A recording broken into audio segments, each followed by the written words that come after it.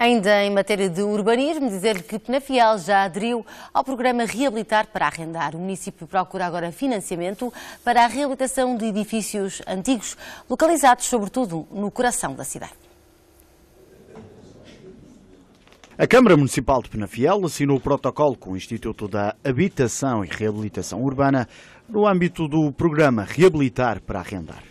O objetivo é facultar o financiamento para reabilitar edifícios com idade superior a 30 anos. São 49 hectares no coração da cidade, com 608 casas que vão ter uma vida nova. Este programa é especialmente importante eh, na medida em que nós temos um extraordinário centro histórico ehm, aqui eh, na cidade de Penafiel, mas temos outros eh, polos também urbanos de imobiliário muito interessante e bastante degradados. Esta intervenção consiste em obras de requalificação num conjunto de iniciativas sociais, culturais e ambientais para o desenvolvimento económico do centro histórico da cidade de Penafiel. Aquilo que nós vamos fazer eh, desde já é eh, uma ação muito intensa na divulgação junto dos eh, principais interessados, portanto dos proprietários, das imobiliárias, enfim, do setor.